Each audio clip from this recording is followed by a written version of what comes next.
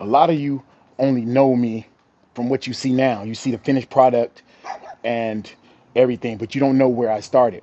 Trust me, this journey I've been on started off rough, you know, and my thing was I started off on a Saturday. Most people wait, say, oh, I'm gonna wait till Monday. I started on a Saturday because I knew what I wanted.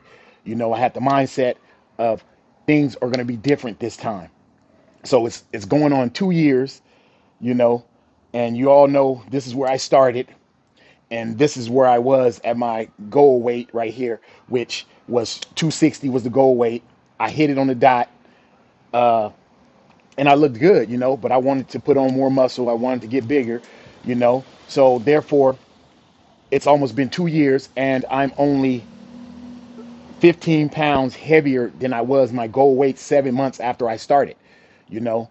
So, you know, man, it's it, it's rough, you know, for those people who are looking to diet, looking to to change or transform their body.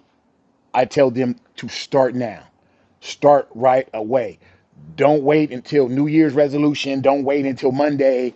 Start right now. Join my training app. I got the diet plan. I got training on there. I got it all. A support group on there.